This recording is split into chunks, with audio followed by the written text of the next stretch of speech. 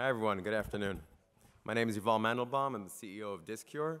Now, I don't have too many people here, but by raise of hand, who here knows someone who suffers from back pain? Oh, there we go. It's enough for the statistics. So, four of five Americans suffer from back pain along their lives, and we really see that you know, it touches all of us. So, when we look at back pain, the leading cause for, for low back pain is a disease called degenerative disc disease. And degenerative disc disease is associated with about 40% of all low back pain cases, It has an addressable market of $8 billion.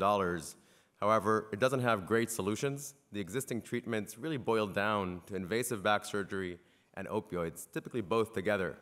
And remarkably, none of the existing solutions actually treat the problem. At best, they mask the symptom.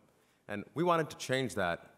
So we developed a minimally invasive device that actually allows us to heal the disc reduce the pain, and restore function to the patient, coming in quite a bit earlier and avoiding starting that vicious cycle of opioids and eliminating the need for invasive back surgery. So quick look at the intervertebral disc. This is a very large avascular organ. It doesn't have blood supply coming directly in. Rather, there are cells that secrete a negatively charged protein that creates an electric potential differential between the inside of the disc and the outside environment, and that creates a draw of fluid and nutrients and oxygen from the outside inward, giving the disc its volume and giving the cells their nourishment. However, in the disease state, we see that the, these cells start to die out, and so that negative charge dissipates, and that pumping function starts to fail, so we have less fluid coming in, causing the disc to deflate and lead to mechanical pain as there's less suspension, we see that there's less nutrition coming in and oxygen, so these cells start to be in an anaerobic environment, produce lactic acid, creating burn. And in general, there's less inflow of fluid, so there's less outflow. So we get an accumulation of metabolites and cytokines, leading to toxicity and inflammation. And all of that together really contributes to this vicious cycle until the disc completely dries up and collapses.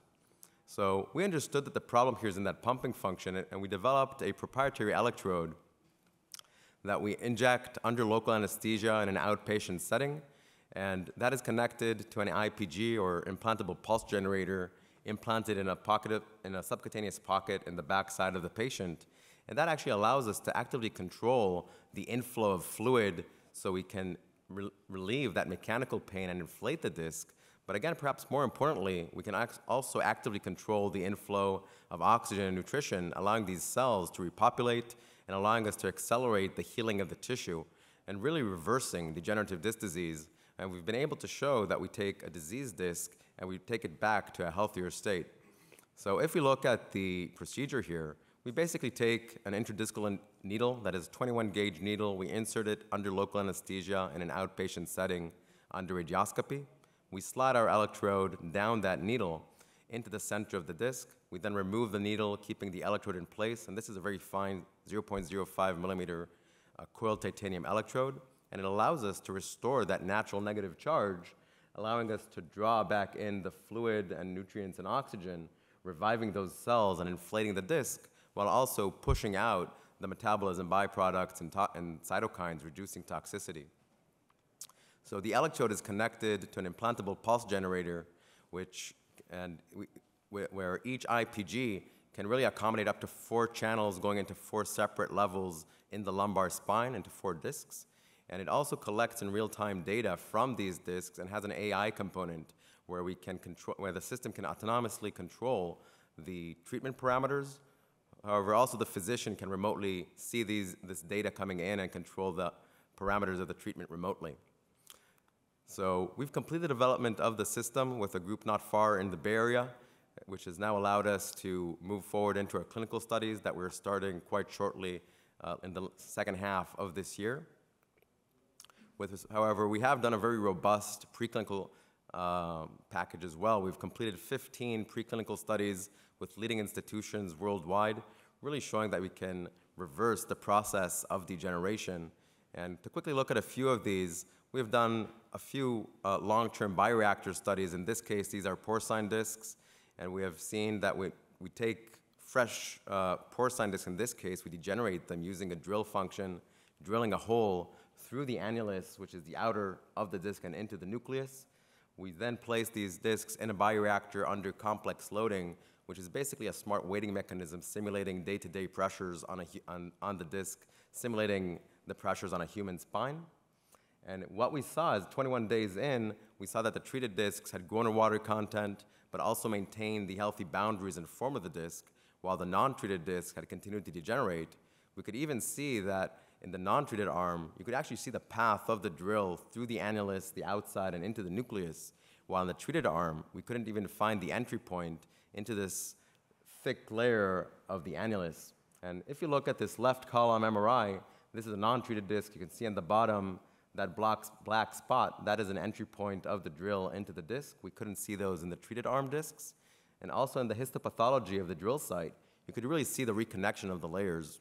But we also wanted to support the structural findings with gene expression tests, and we ran RT-PCR, and we saw that we had a vastly statistically significant downregulation of key inflammation and degradation and pain biomarkers with a corresponding upregulation of regenerative and anti-inflammatory markers. And this really correlates very strongly to pain in patients. So this was extremely encouraging. We've seen the same results in bovine and human disc studies. This is from a human disc study.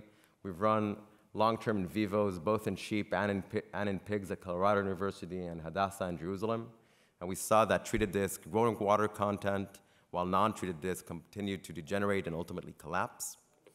Overall, the fact that we, that we were actually treating the problem and not just the symptoms has really resonated well with the industry. We've received a number of awards in the last few months. We've received an award for Best in Technology in Spine Care at NASS, the North American Spine Society from a panel of orthopedic surgeons and neurosurgeons. We were, we were ranked first, uh, at, really at the top of a few competitions of startups and MedTech Innovator and Tech Tour. We got a breakthrough device designation from FDA despite the preclinical stage. We've been publishing in some of the top journals in our field. And last year we oversubscribed a round that was led by two hospital networks in the US, joining our existing investors in J&J. With respect to FDA, so we get, got the breakthrough. We've also been put on the 510K de novo path rather than the high-risk PMA based on the risk analysis and short procedure time. The FDA also agreed to the design of our first in-human study, which will be 15 patients with six months of follow-up in an open-label study.